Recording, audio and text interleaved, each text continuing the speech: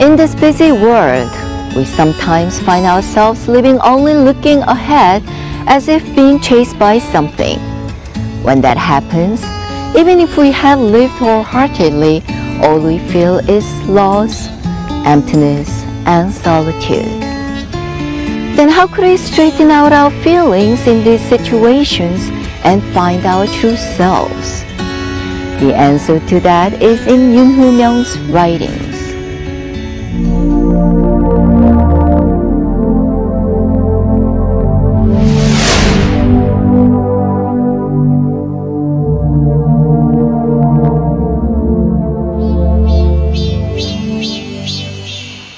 Yoon Hoo Myung. When reading his novels, we are enveloped in a hazy nostalgia or a romantic yearning. That is because his novels are always about travels, searching for my own self. 저는 내내 그 한 가지 소설을 쓰고 있다고 생각해요. 그 소설이 물론 음, 매우 그 단순하게 보이기도 하고요.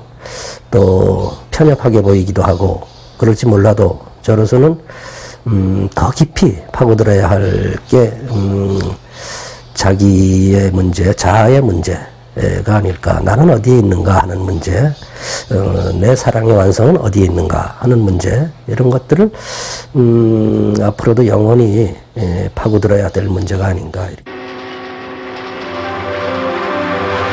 In these trips that is described in the first person, the narrators are generally shrouded in an indescribable loss and an uncertainty towards existence. Due to this emptiness, they leave on trips to search for the meaning of their lives.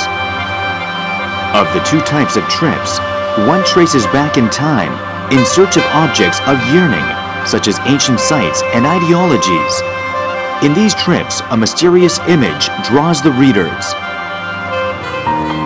Its representative piece is Dunhuang's Love.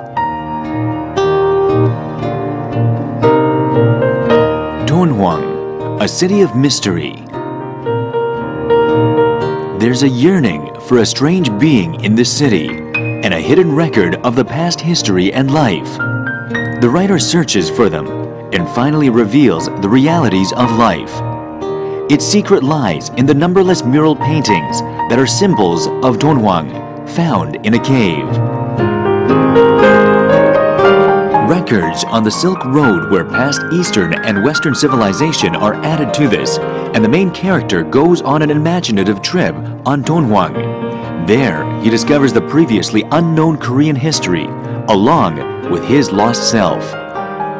실크로드는 사실 우리한테는 지금 매우 친숙하게 되어 있습니다만은 그 무렵에는 음, 그조차 매우 그, 그 생소한 그 개념이었어요.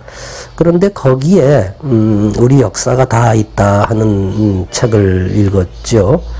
그 가운데 음, 그 해초라는 분을 알게 됐고 그분의 그 족적이 그 길을 통해서 음, 신라 사람인데요. 음, 아시다시피 신라에서 당나라로 가서 또 인도로까지 이어지는 그이 기록이 이 도낭이라는 실크로드의 한 도시에서 발견됐거든요. 이것은 음, 상당히 이, 중요한 문제라고 봐서 이 문제를 음, 우리 속으로 끌어올 수 있겠다. 충분히. A land of agony stretching endlessly on the desert, the Silk Road. The lion that spent a toilsome time wandering around the Silk Road is the discouraged and failed image of myself. The main character, who wanted to escape from daily life, longs for the image of the lion that throws off its hide after a long day's walk. He grows to yearn for the lion before he realizes it. 사자는 음, 우리나라에 없는 동물이지요. 그런데 그 서역의 그 사자무가 여기 와서 음, 서역보다도 오히려 더 중요하게 예, 연이되고 있구나, 춤추어지고 있구나. 여기서 그 마당에서 띵뛰며 놀고 있구나 하는 것을 음, 그 문화의 교류, 어, 세계사의 교류 어, 이런 상황에서 저는 보려고 했죠. 그 상징으로 하나의 상징으로 보려고 했습니다.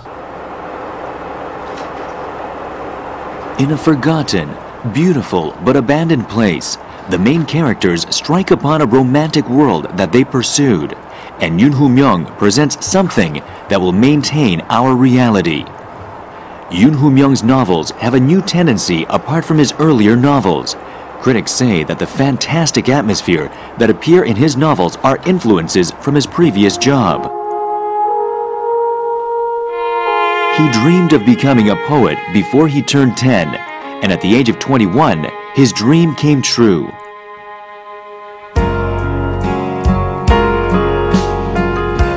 But after his long cherished dream was achieved, a wave of emptiness swept in, and he roamed about to write new poems.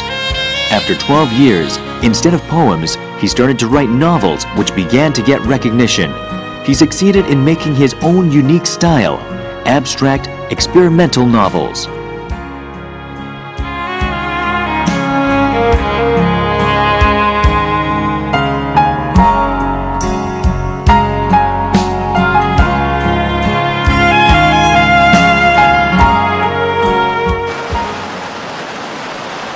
Yoon Hoo Myung, after many years of searching, found his true self along with his work.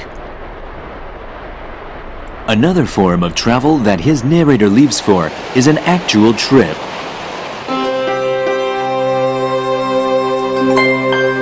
In many cases, these actual trips are accompanied by a woman. Almost all of his novels is a variation and repetition of meeting and parting with others. They arrive in a ruined place where there is no possibility of salvation from reality. That is also true for the women who accompany them. In the end, through the pain and despair from their travels, they find the meaning of their existence. 인간이란 것 자체가 음, 매우 불확실하고 또 저 자신이 뭐 음, 무슨 힘이 있겠습니까마는 그러나 음, 그 힘없는 존재를 밝혀가는 음, 것이 또한 우리 문학하는 사람들의 이, 이 사명이라고 봐요. We could see him as a traveler who must go on a literary trip to ruminate on the meaning of life. Of course, the ultimate destination of this traveler is the return to reality. Therefore, his departure is a trip which will bring him back.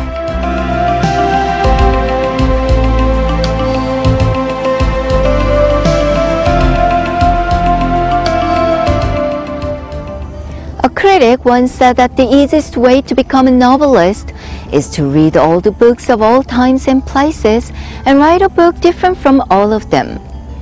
In order to deliver his message, Yoon Hoo Myung gave up his childhood dream of becoming a poet, and now he has his own unique style of writing.